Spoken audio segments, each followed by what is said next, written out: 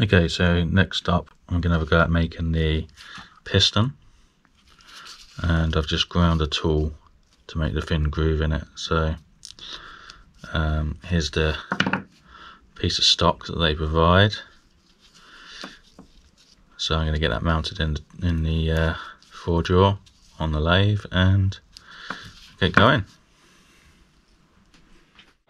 So I've faced the end of the material and I've got to get this down to the same size as the bore so I'll um, I've measured and that's about 2.8 millimeters to come up with that. So I'll um, keep taking slices off until I get close and then I'll get the cylinder and I'll keep trying it until it pushes on. And then I'll know I'm at the correct diameter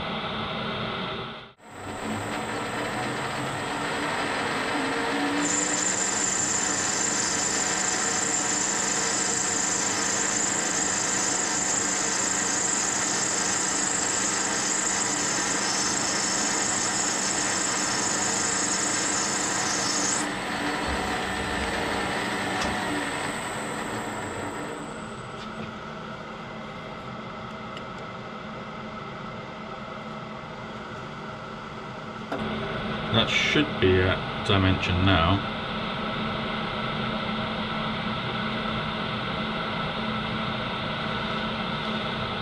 Doesn't quite go on, so it just needs a little bit more off.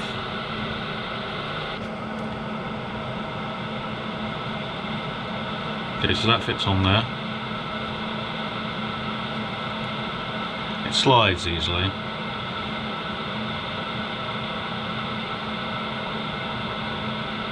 And it sort of turns under, under its own weight just. So I'm hoping that's about right. There's a um, a groove I need to cut now for the o-ring to go in. And I guess that's what creates the seal for the air pressure in the cylinder. And this diameter is what helps it to run true I would assume. Uh, so we'll see how that goes so this is the tool that I've ground to create the groove.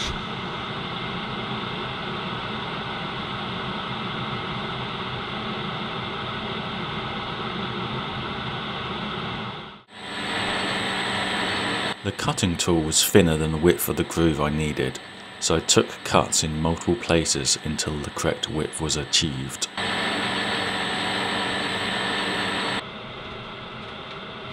I could only measure the width with a set of calipers. Ideally, this should be measured using slip gauges.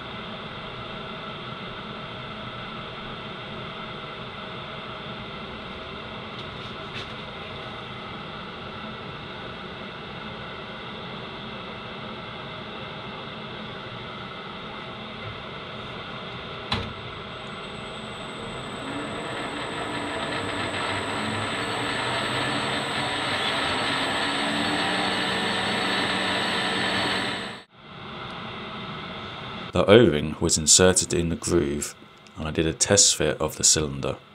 The cylinder did fit, but looking back it is a little tight for a steam engine and will need adjusting later in the project.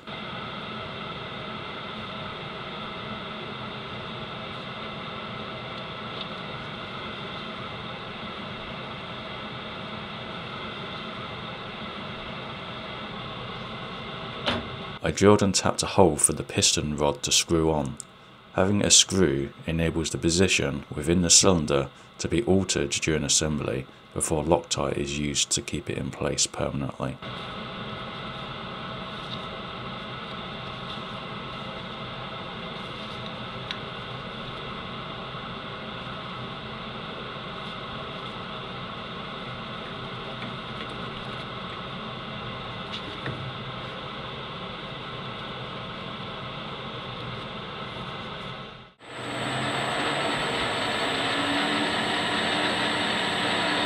I parted off the piston.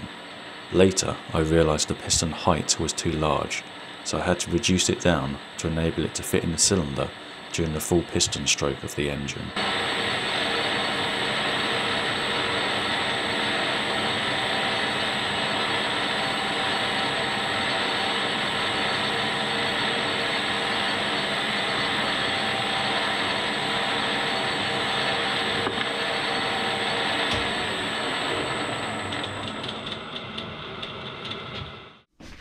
Okay, I guess this is the scary part of uh, does it all go back together?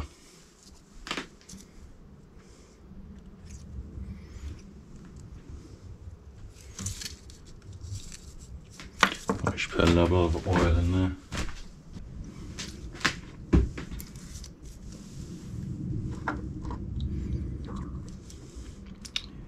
Okay. I that was there. Uh,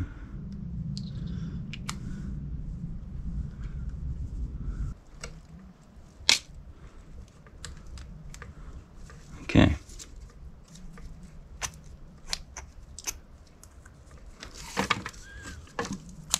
Yeah, once got the oil spread around there, loosened up a bit.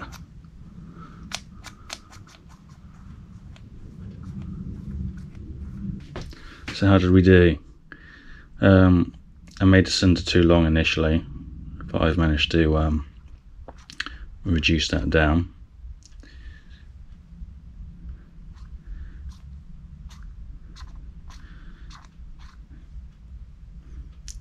I guess we won't know until we try and run it.